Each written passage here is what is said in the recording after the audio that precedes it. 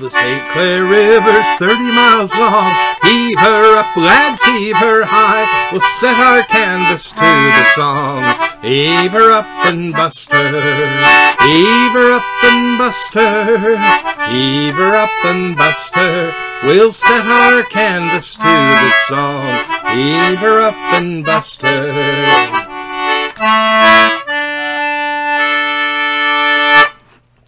Now, I'd be hard pressed to tell you that being a musician and singing sea shanties was actually part of the marine trade or the marine industry, at least not in 2021. But it's something that I do, something that I've had an interest in for a long time. Uh, my name's Ian Bell, and uh, I'm known as a folk singer. I do uh, traditional songs. I also write songs as well. Being a musician's got uh, uh, there's a lot to it.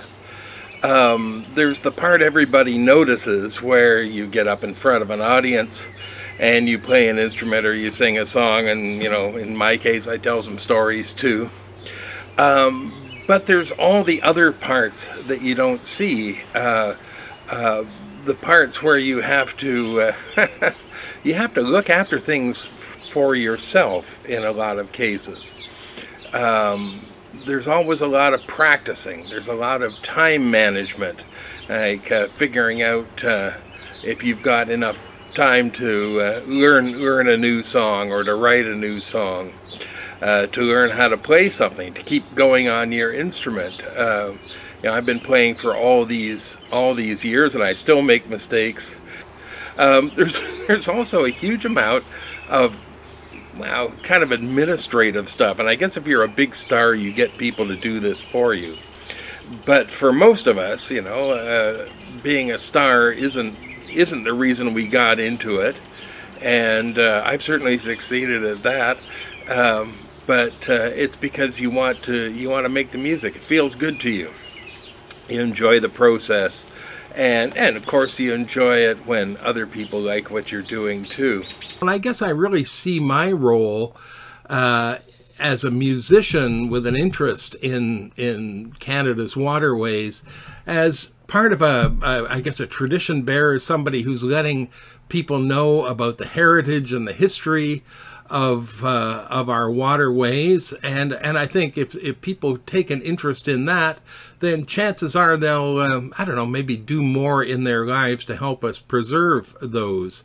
The songs I sing are songs that uh, were sung by sailors back in the 1800s for the most part, when the uh, the ships on the Great Lakes were sailing ships, schooners and barkentines, and uh, and I get a chance to go out and uh, sing them occasionally on a on a ship, uh, often more often at a museum or uh, in a uh, in a concert situation, and I do them on my own. And uh, but it's always more fun to do them with other people, and that's why all these songs, the sea shanties, have all got choruses because they're they're meant to be sung along with. I play lots of different instruments. I've got a concertina here. You can see a button accordion in the background. There are banjos and mandolins all over the place here and uh, uh, that's the nice thing about uh, sea shanties is you can you can always find somebody to uh, to sing them with you. Well, I thought I heard the old man say, Leave her, Johnny, leave her. Just pump her out and draw your pay. And it's time for us to leave her. Leave her, Johnny, leave her. Oh, leave her, Johnny, leave her. For the voyage is done and the winds don't blow, and it's time for us to leave her.